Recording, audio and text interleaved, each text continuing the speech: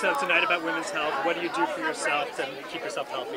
Uh, every day after I drop my daughter Portia off at school, uh, you know, I get right into the gym. I do a lot of cardio, a lot of weights, and I make sure that everything that I'm eating is healthy and you know, I, I, I, gave up alcohol almost seven months ago just as a, a, health choice, and I've never felt better, and I can see a difference in my eyes and my skin and my, my body, everything. So um, people are like, well, when are you going to start drinking again? You know, friends, I'm like, I don't know, guys. I didn't put a time on it, but I can just tell you I've never felt better, so I don't know why I would start right now, but you never know. Who knows?